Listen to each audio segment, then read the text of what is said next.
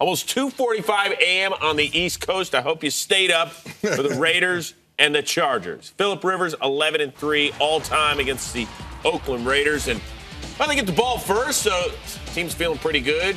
Twice this year, 500 yards of total offense in a game. Third and 10, and he is picked by Usama Young.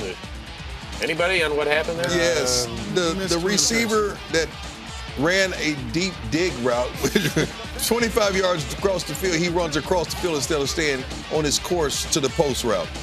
All right, so next play, Terrelle Pryor sat out last week's game because of concussion-like symptoms, and so here he's causing a major headache for the Chargers. That to Rod Streeter on his first pass of the game. He connected on his first 10 tosses of the day, and the Raiders have a 7-zip lead. Third quarter, Chargers down by 14. Danny Woodhead playing for the concussed Ryan Mathews. And Charles Woodson heads to the end zone for the 13th defensive touchdown in his career, tied with Rod Woodson and Darren Sharper for the all-time record. Sharp.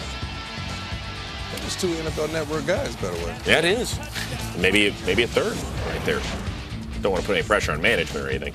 Uh, fourth quarter, Chargers down 14. Philip Rivers to Keenan Allen. The rookie looked good, Kurt. He looked real good. He was making plays all over the place uh, for Philip Rivers, and it's a pretty good receiving corps that uh, that's putting together in, in San Diego.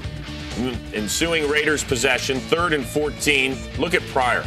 Buying time, extending the play, hitting Brice Butler for the 20 yard completion. Pryor 18 to 23 for 221 and two scores. Now the Chargers down by 10. They need a touchdown, oh. but not a pick. That's the first round pick, DJ Hayden, his first career interception. Good for him, based on what all that young man has been through.